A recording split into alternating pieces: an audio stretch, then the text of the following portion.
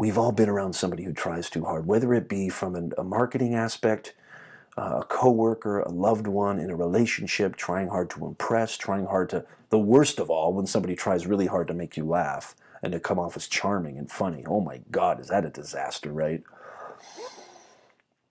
Where is the natural effortlessness that comes when this thing is not seeking external validation? Where is that natural effortlessness that comes when we're not worried about whether people like us, we're not worried about what our family thinks, what our friends think of us, what the public thinks, we're not afraid of judgment, we're not afraid of our own self judgment. Where do we get to that level? How do we get to that level of effortlessness?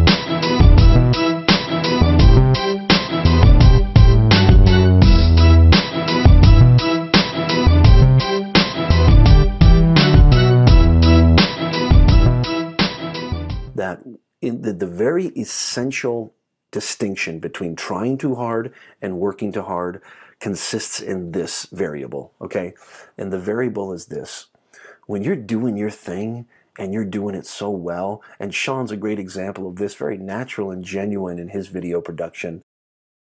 When you understand who you truly are, and when you understand that it's impossible to please everybody, so you might as well not try to please anybody, and you're doing your thing and you're doing it well and you care more about craftsmanship.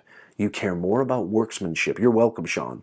You care more about just being the best that you can possibly be.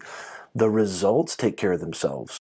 We've all been around people who have tried really really hard and too hard uh, to a fault um, and there's something that just comes off of them. There's something that just, there's a fragrance that is, it just reeks of inauthenticity. It reeks of insincerity. And you know it because you can feel it. You feel like you're being conned. Nobody likes that feeling. Nobody likes that feeling that they're going to be conned. And so, effort versus effortlessness you know, you hear about this with maybe athletes would be a really good example, talking about when they're in the zone. There's not so much calculation. There's not so much thought process. One of my most favorite things about my growing old, and I love what Sean said about constantly being a learner and constantly having this mindset of a beginner's mentality, and why I think this will flower all your successes and blossom into all sorts of beautiful things in your life. Just really engaging more with the world, being more honest with who you are and honest with the people around you, and really having a fresh perspective on things. It's just a, a lovely thing. And it, it really, the greatest teacher of all time, even though I'm a writing professor, the greatest teacher of all time is life. There's, there's no professor on the planet that comes close to life. That is the grand inquisitor that is the ultimate professor of all professors, the ultimate teacher. And it's it's you know you hear it, you know hey post game interview, Kobe, you've had a slump for so long. That's just the first athlete that came to my mind. I know Kobe's retired. Um, you have 50 points, 12 rebounds, seven steals, 11 assists.